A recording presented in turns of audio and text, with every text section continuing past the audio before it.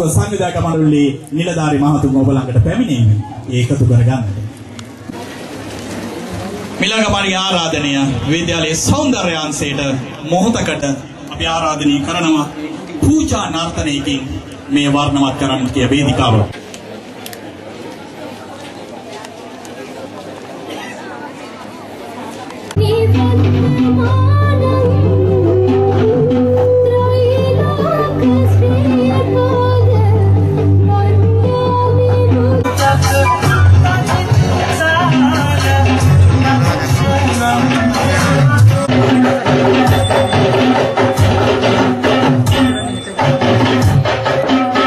ගරු ජී.ඩී. ධර්මසේන විදුහල්පතිතුමා ප්‍රමුඛ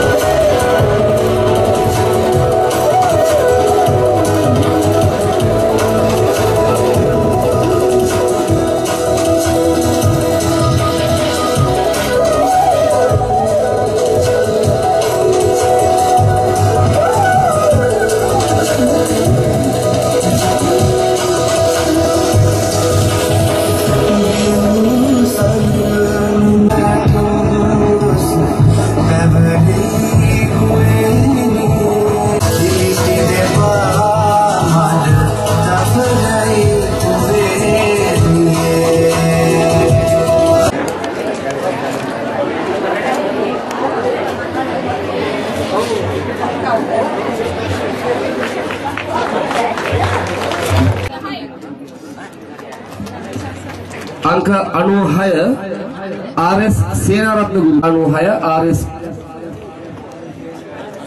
සේනාරත්න ගුරු පියාණන්.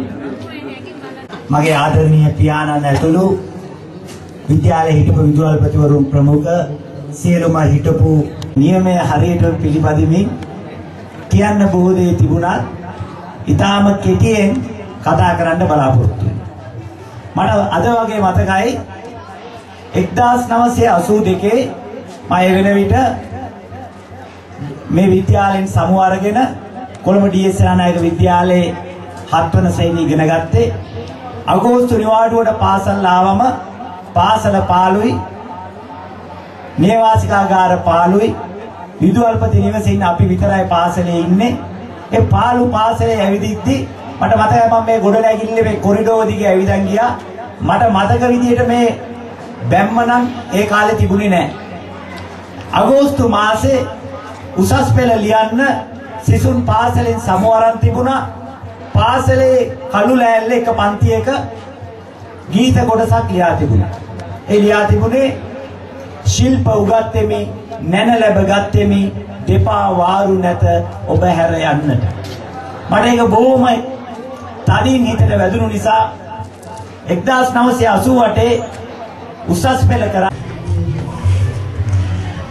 අගමැතිතුමාට එරව විශ්වාසභාග යෝජනාව ගෙනාවේ මේ රටේ ජනතාව සීයට හැත්ත එකකට ආසන්න ප්‍රමාණයක් පසුගේ පුංචි චන්දයේදී අගමැතිතුමාට එරව විශ්වාසභංග යෝජනාව සම්මත කරා. ඉතින් ජනතාවගේ නියෝජිතයෝ විදියට අපේ යුතුයකම තමයි ජනතාව කියන දේ කරන එක. ජනතාවගේ විශ්වාසභංග යෝජනාවට අගමැතිතුමා හිස නමා ඉවත් නොවුණු නිසා තමයි මහජන නියෝජිතයෝ විදියට අපට විශ්වාසභංග යෝජනාව ගේන්න සිදු වුණේ මේ දවස්වල එක්සත් ජාතික පක්ෂයේ නායකයෝ එකතු වෙලා අගමැතිතුමාට විශ්වාසය පළ කිරීමේ යෝජනාවක් අත්සන් කරනවලු අත්සන් 70 ගාණක් ලැබිලා මේ අය ප්‍රීතියෙන් ඉපිලා ඉන්නවා කියලා ආරංචි ඔයාට හැබැයි ඒ සඳහා 113ක් නම් හොයාගන්න බෑ.